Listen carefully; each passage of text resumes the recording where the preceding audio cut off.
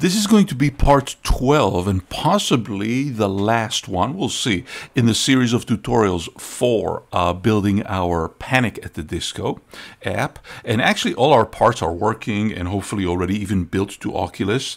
And uh, other than the effect we're going to add on the camera, you might have noticed that when you build to Oculus, there's a little, let's say, out of sync between what you see and what you hear. I'm going to remind you that they're in the in the music container. This is exactly why we have two music uh, objects, one with delay and one that's being heard. The one that's with delay is the one being analyzed, but it's not heard and the one that's being heard has no delay. So the one with the delay right now has no delay, and the reason it has no delay is because the desktop has a really fast processor. But as we build to the Oculus, we might find that we need to change this number. We will talk about it by the end of this tutorial. Um, but for right now, we're going to add our last part. The reason we're going to do the delay last is because the effect we're going to add to the camera might add a few, uh, even more CPU load. So the the time to determine the delay is after everything has been added. And the last thing we're going to add is some post-processing, which we've done in the past, so this will remind us of the steps how to do it. If this works, let's add the last touch. Uh, some post processing from the camera. We're going to go to the package manager and in the packages called unit Unity registry, or in other words, like the core ones, we're going to search for the word post. And if it's not installed, we're going to install it. Let me zoom out so we can see all the text.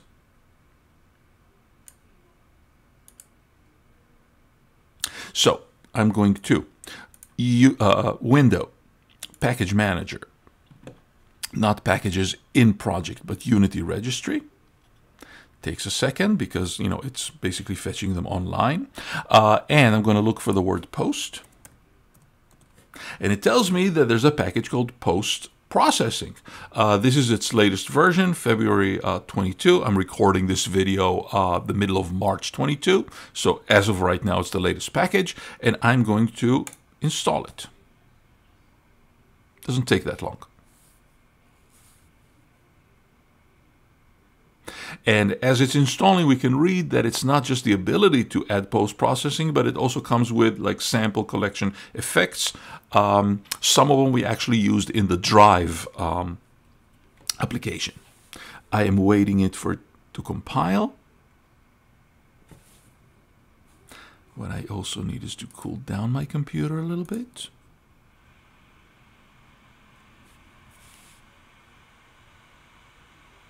Okay, and now it's installed. Once it's installed, uh, one of the things we need to make sure of, and the guide says that, is that under Edit, Project Settings, Player, that our color space is linear.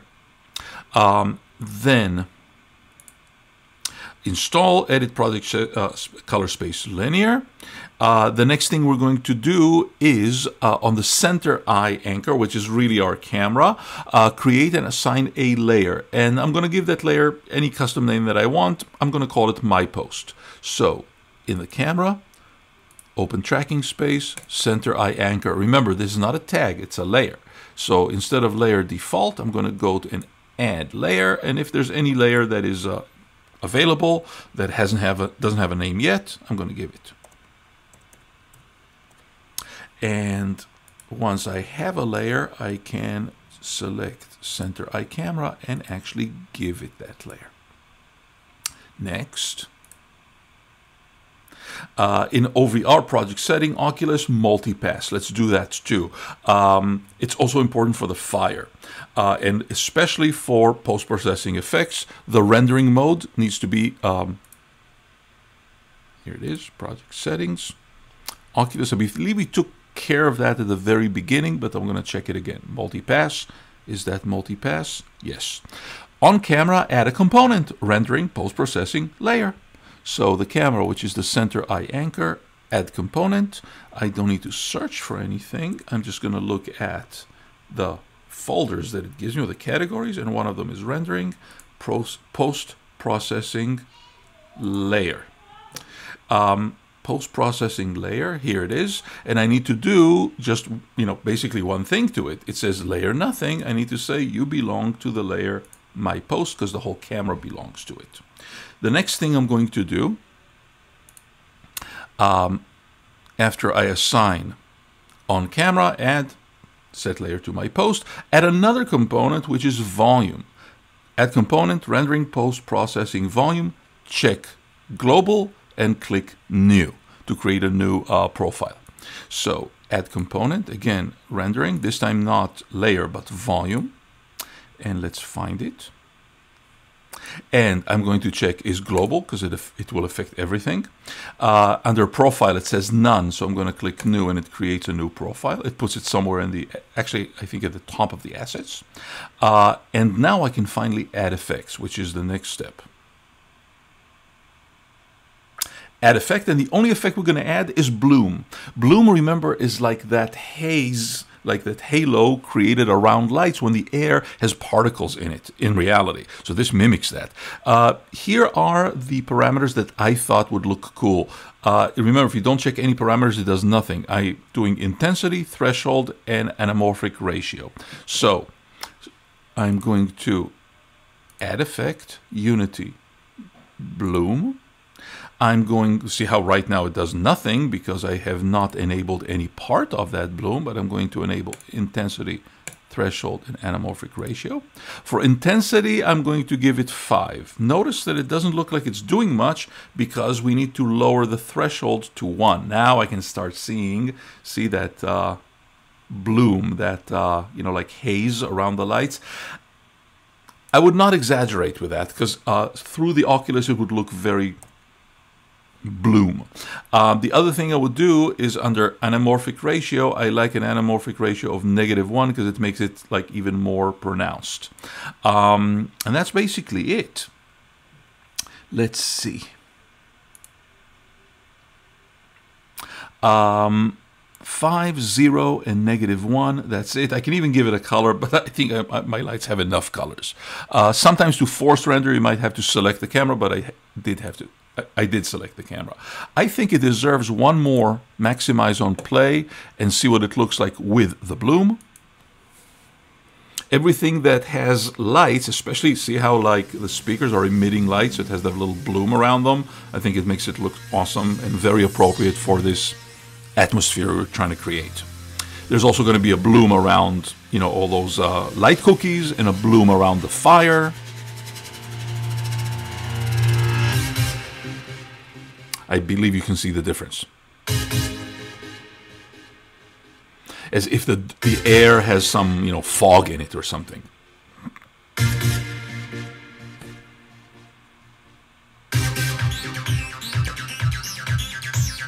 That is really the end of our steps. Um, Built to Oculus, if you notice that the visuals and music are a little out of sync, you go to the music with delay, sound delayer, and you change how much delay to about 0.03, which is 30 milliseconds. I've experimented with it, and with my Oculus 2, that's pretty much how much it needs, uh, like a delay of the music to make sure that it uh, catches up with, or that the visuals are catching up with the music. Uh, so I'm going to go to music with delay and there's a parameter called how much delay and I'm going to make it 0.03 of a second or in other words 30 milliseconds and now when I play it in a desktop it's going to look like it's out of sync but in the Oculus it's going to look in sync before we're done uh, here are some customization ideas which might turn into lab assignments. What else can we do? We're standing there with a camera rig basically on our heads. And it has a left hand and a right hand. Why don't we attach some things like lights to our hands? That would be actually kind of cool. So when we dance around our hands are moving. Or, you know we can have like you know like a, a flashlight uh, uh, or any kind of light that emits from our hands. The other idea that we can have is to create a playlist of tracks. Right now it's playing one song. Uh, here are some ideas in this link how, how to create a playlist of audio sources instead of just playing one. There's some ideas here and some ideas here. And if we don't like being alone in this dome, if you remember from our um, city um, app, the, the city uh, uh, treasure hunt uh, app, there's a website called Mixamo where we can bring in characters. Now, if we want those characters to dance in the BPM of this particular music, it's 128. 128 beats per minute means that if there's 60 seconds in a minute divided by 128, then each beat or each measure, yeah, it's actually each quarter, uh, each beat is 0.68 uh, per second. So any multiple of that in the length of animation on our Mixamo uh, characters will make them dance more in beat. Uh, in class, we're going to discuss a lot more ideas for customizing this, but as far as the uh, required steps, we are done. Good luck.